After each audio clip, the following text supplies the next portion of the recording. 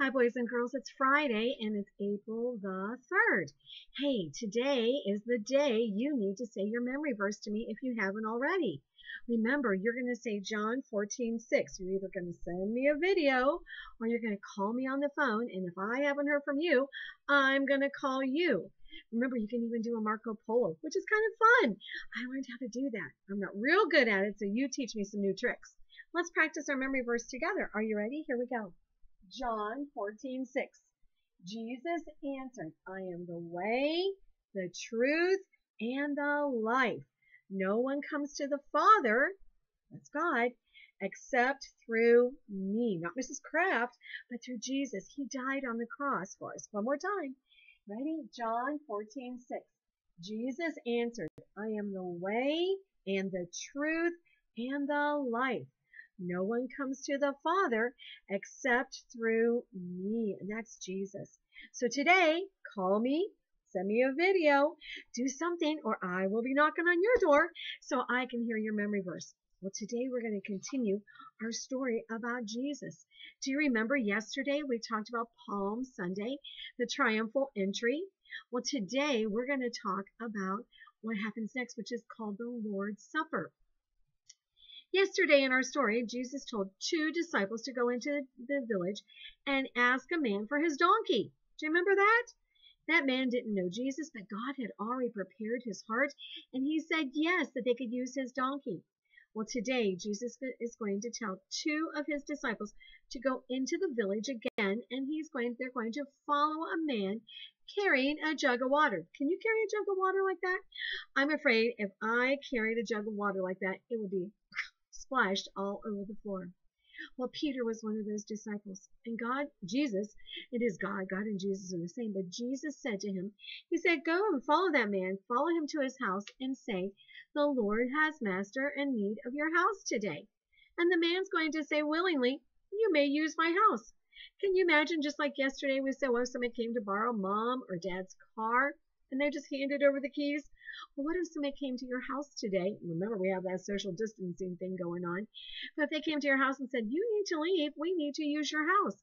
That would be awful strange, wouldn't it? But this man's heart was already prepared by the Lord. He showed them a room up on the top of his house that had couches and tables. It was perfect for 12 people to gather around and Jesus. So the man obeyed. His heart was willing. Do you have a willing heart today? Are you ready to obey God and what He wants you to do today? Well, boys and girls, Jesus and His disciples gathered around on those couches in that special room that was prepared just for them. All 12 of the disciples were there.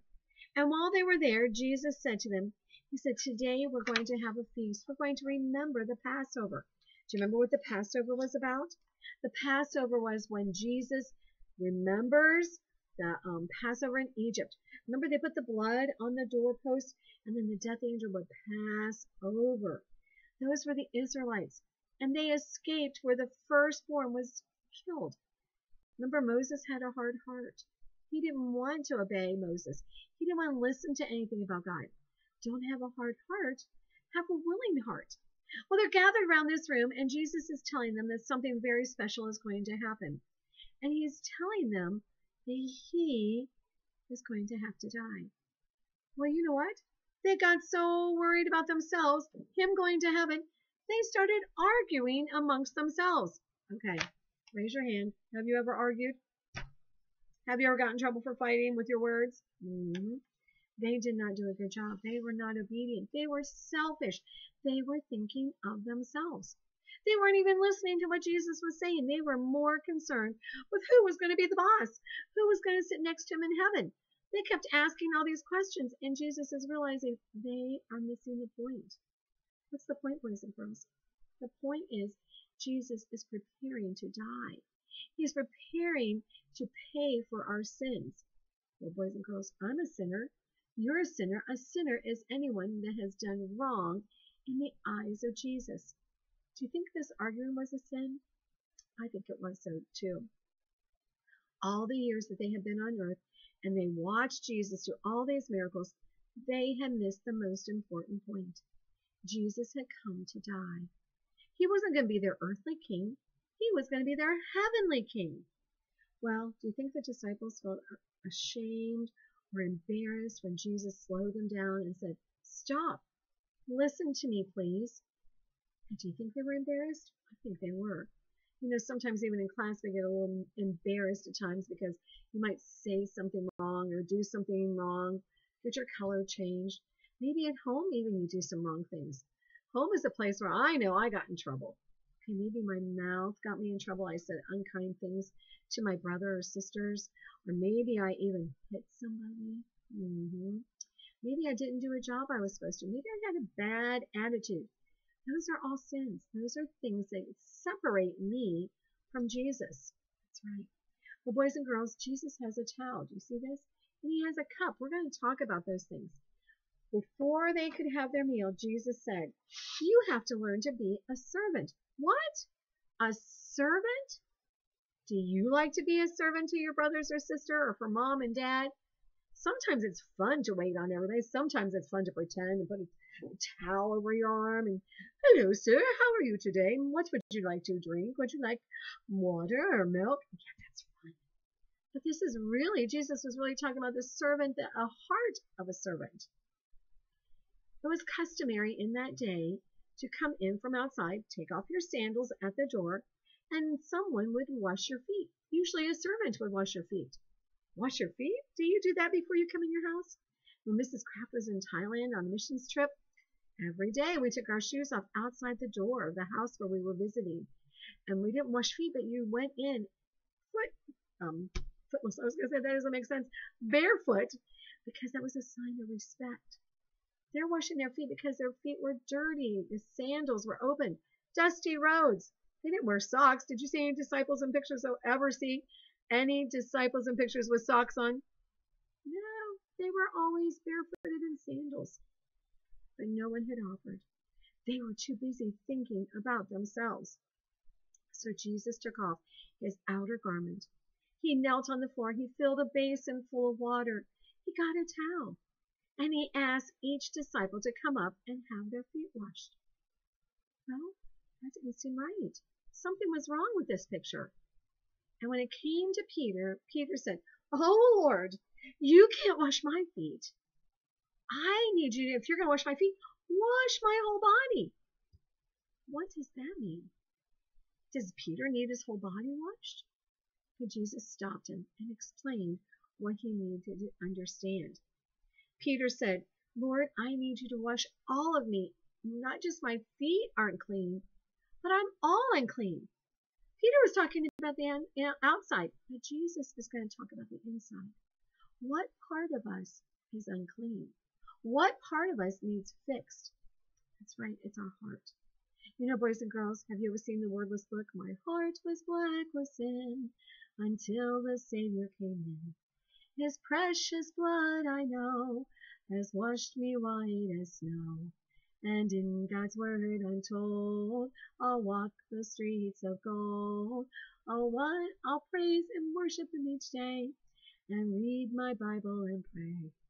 So my heart was black with sin until Jesus' blood came in. He washed my heart white as snow. Snow. You know, we didn't have very much snow in Ohio this year, but snow is clean.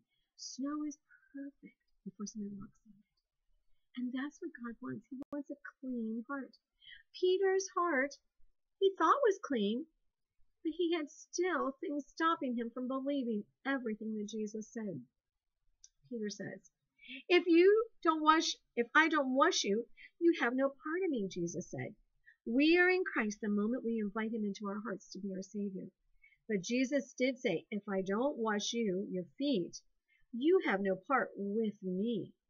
After we're born into God's family and become his children by inviting Jesus into our heart, we're not perfect. We're not sinless. We still do mistakes. Mm-hmm. Mrs. Kraft. Yeah. You.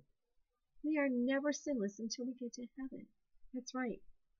As his children, we want to obey, but sometimes we're unkind, sometimes we're selfish. And God knows our hearts. He wants us to read our Bible, practice our memory verse. He wants us to trust what the preacher's saying and teachers are saying and mommies and daddies are saying. But you know what? We need to stay in fellowship with him. if we've let sin come in, we're building the wall higher and higher. And it's keeping Jesus from reminding our mind that we've done something wrong. After Peter had heard Jesus' explanation, he said, Lord, don't wash my feet, just my feet, wash all of me. Wash my hands, wash my body. But Peter said, No, Peter, you're wrong again. One who has bathed all over only needs to have his feet washed to be entirely clean. Jesus was emphasizing here that when Jesus, when Christians sin and fail, we get dirty with our thoughts or our actions, okay? He doesn't need to, he doesn't stop being God's child. He's still God's child. I'm still belong to Jesus. I just need to confess my sin. Jesus wants us to have a clean heart. Well, Jesus went on to say to him that someone in that room still did not have a clean heart. Do you know who that is? Do you know which disciple does not have a clean heart? If you said Judas, you are right. Jesus went on to say, Not all of you are clean. He knew that Judas Iscariot was in the room, and in Judas had never asked Jesus to take away his sins or to believe in what Jesus was doing. Jesus said to Judas, Excuse me, I'm sorry about that. I knew it was coming. Jesus sat at the table, and his heart was filled with sorrow and sadness. And he looked at his disciple and he says, Yes, it is true. One of you will betray me. One of you will go to someone else and tell about me. Tell me where I am. He says, The one who I dip the bread in the sauce and share it, that person is the one who will betray me. The boys and girls, they all looked around the table. Is it me, Lord? Is it me? Is it me that's going to be Lord, I would never do that. But Judas knew it was him. He was the treasurer of the disciples. I mean, he kept the money. He was in charge of making sure that they had the money to buy the bread or to have food to eat. He took his money and left. Can you tell what time of day it is? It's night. He snuck out at night. The other disciples thought he was just going to buy more food. But instead, he had made a plan with the scribes and Pharisees. Do you remember those scribes and Pharisees that were standing behind Jesus when the little children were praising him, looking for a way to catch Jesus in a fault? Judas had already made a plan with them. He is going to go meet with them. Tomorrow, well, not tomorrow, actually Tuesday, we will find out more what happens. Okay? So I'll talk to you on Tuesday. Don't forget to call me or video me, video you with our memory verse. Don't forget. Okay? Have a great day. Bye, boys and girls.